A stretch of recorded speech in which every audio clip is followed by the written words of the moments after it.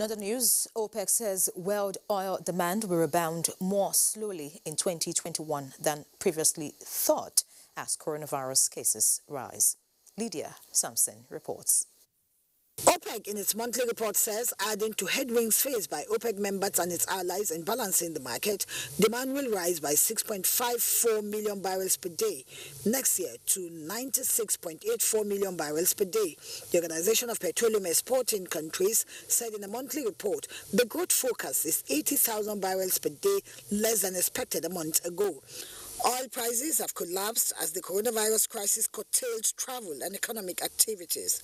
While in the third quarter, an easing of lockdown allowed demand to recover. OPEC sees the pace of economic improvement slowing down again. The report says while the third quarter recovery in some economies was impressive, in the near term, market trend remains fragile and a variety of ongoing uncertainties, especially the near-term trajectory of COVID-19 as this uncertainty looms large amid a globally strong rise in infection. It is expected that the considerable recovery in the third quarter will continue into the fourth quarter and into 2021.